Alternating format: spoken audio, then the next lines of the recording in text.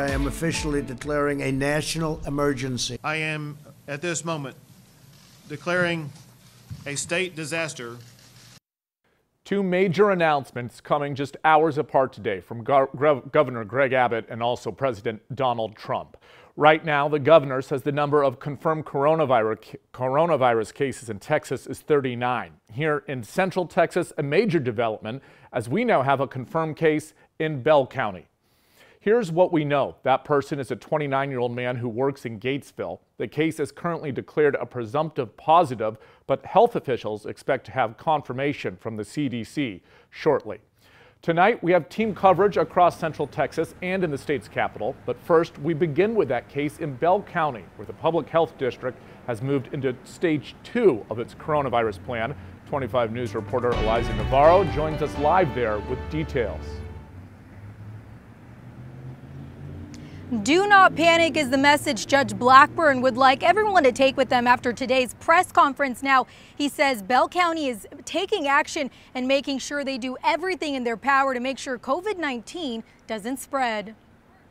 Bell County is just hours into phase two of its action plan after confirming the first presumptive positive case of COVID 19. I was also advised to treat this presumptive positive case as confirmed. Uh, accordingly, and effective immediately, Bell County is now at stage two of the COVID 19 plan. The person is a 29 year old man who recently traveled to Barcelona and Paris last week. According to Gatesville ISD, that man worked at Laerdal in Gatesville. As we said, self isolation.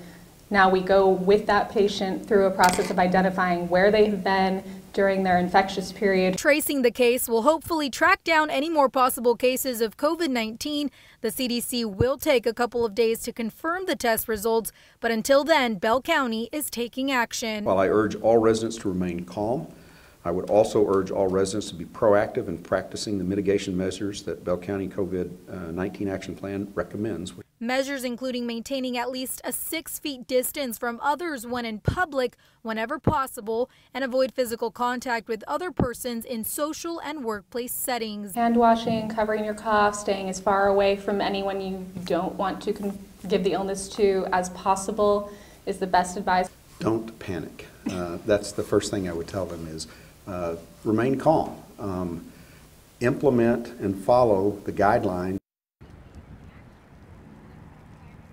Judge Blackburn says the impact of COVID 19 has affected and pushed back some of their budget deadlines here in the county. He also says that events haven't been canceled, but, he, but that he doesn't recommend they continue.